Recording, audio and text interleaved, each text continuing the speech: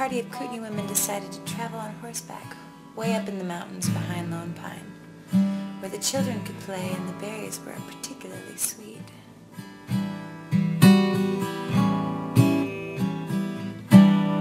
After hours of picking, one of the women noticed that she hadn't seen her son, Little Weasel, for quite some time. She scanned the horizon with no sight of him.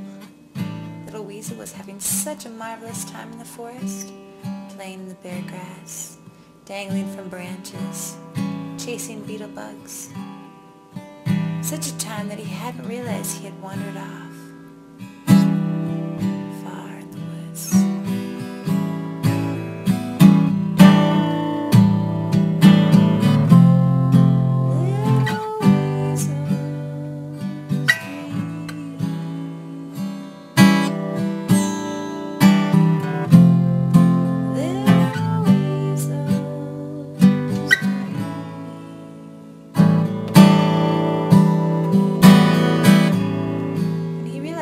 Lost, he began to call out desperately.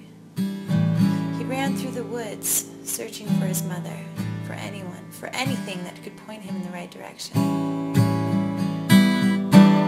He ran to the top of the closest ridge and saw nothing that even looked familiar.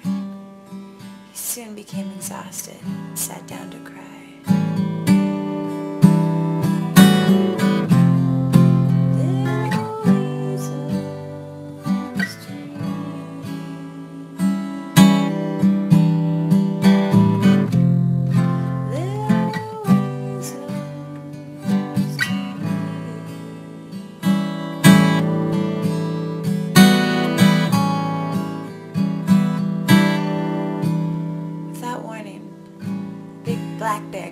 towards him, out of the woods, branches breaking and crackling along the way.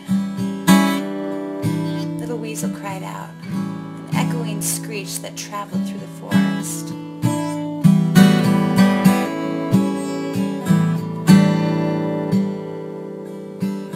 Little Weasel's mother heard him and ran to him. She found him in the bear grass, fast asleep in the midst of a bad dream